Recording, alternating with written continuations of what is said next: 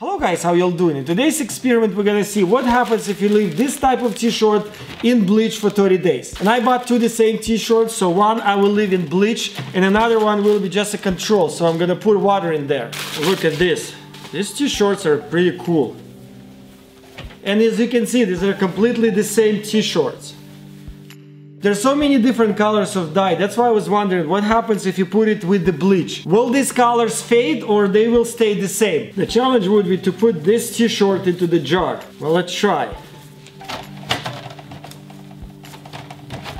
There you go. It fits nicely. So I'm gonna put bleach in here and water in here. Ooh, look at that bleach, crazy. So I'll make sure it's actually soaked all the way. So as you can see, slowly but surely the bleach going all the way to the bottom. While it's doing it, I'm gonna start putting water, the second one. As I can see, the water is already on the bottom. Well, I think it's enough.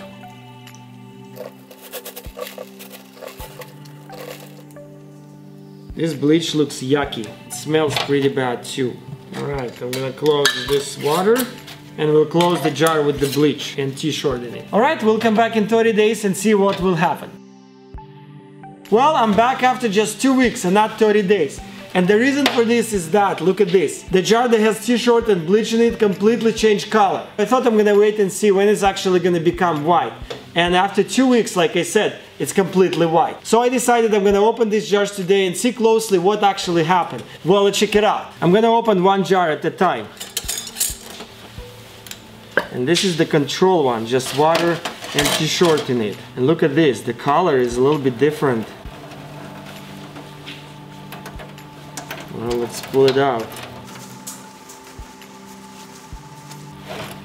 Ooh, different color. It still smells like new actually. Yeah, look at that. Pretty much the same color. I don't think I see any difference from what it was before. Check this side. And the color is a little bit reddish, like dark red right here. Well, that means water pretty much didn't do almost anything to this shirt. Well, let's check the bleach one. Ooh, look at that. Ooh, it smells crazy. Oh, check this out. It's completely destroyed, it degraded.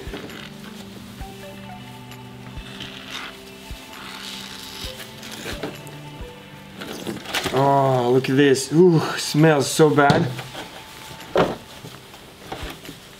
Yeah, completely destroyed. And it tears so easily. Check this out.